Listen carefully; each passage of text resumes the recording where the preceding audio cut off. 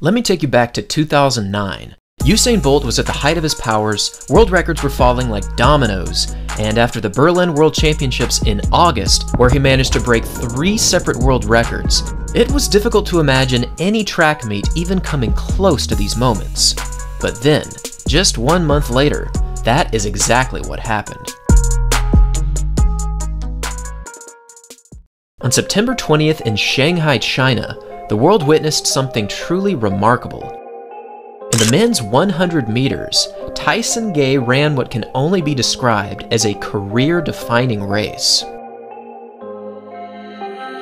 After a rather slow start, he was trailing slightly behind Asafa Powell, but over the final 50 meters, he sprinted into the record books. With a finishing time of 9.69 seconds, he improved on his previous personal best by 2 one hundredths of a second, now becoming only the second athlete to ever run under 9.7 seconds. Now 9.69 on paper is already remarkable, but given his poor start, this time is even more impressive. If we compare Usain Bolt's world record time of 9.58 with Tyson Gay's new 9.69 performance, we see something that is difficult to believe. From the start up to the 40 meter mark, Bolt clearly had the advantage.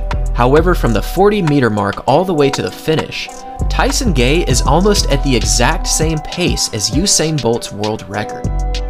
In fact, from 60 meters up to the 80 meter mark, Gay ran this interval only 1 one hundredth of a second behind Bolt. During this phase, Bolt achieved a historic top-end speed of 44.64 kilometers per hour, which to this day is still the fastest any human being has ever run. However, in Shanghai, China, Gay's top-end speed was a remarkable 44.44 kilometers per hour. To this day, only three men have ever managed to achieve this speed, and this list includes Usain Bolt, Tyson Gay, and also Yohan Blake from Jamaica. These three are also the only athletes to ever run under 9.7, so this is quite the exclusive club of world-class sprinters. This time still makes Tyson Gay the second fastest athlete of all time, but then, just 30 minutes after this time, this happened.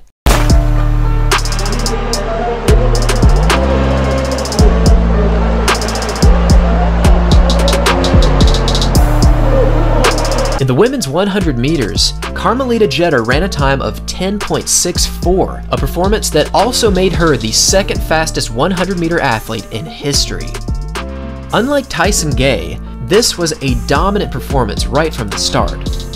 By 20 meters, she already had a full stride on the rest of the field, and for the rest of the race, she only increased her lead to historic proportions. This was quite the redemption race for Jeter, given that she placed third in the World Championships just one month earlier. But on this special day, there was simply no one that could catch her. So why was this day back in 2009 so unbelievably fast? Well, for one, there was a slight tailwind behind the athletes, but even if this was the case, it wouldn't guarantee such amazing times. So I actually have a theory that may or may not be correct. You can leave your thoughts in the comment section down below. For the men's race, Tyson Gay had a pretty weak start, and when he realized this, a shock of adrenaline went through his system and it yielded a very impressive top-end speed. Now this may or may not have occurred, but there's actually another race where something very, very similar happened. If we fast forward two years to 2011, Yohan Blake ran his 200 meter personal best in 19.26 seconds. And he also achieved this time with a very bad start. Again, this sudden realization that he started so terribly may or may not have given Blake an extra shot of adrenaline, but given that the second half of this race was the fastest closing 100 meters in history, this theory of adrenaline does kind of hold up. Obviously, this quick burst of energy is meaningless unless the athletes are in world-class shape, so clearly, Tyson Gay was more than ready to run this time.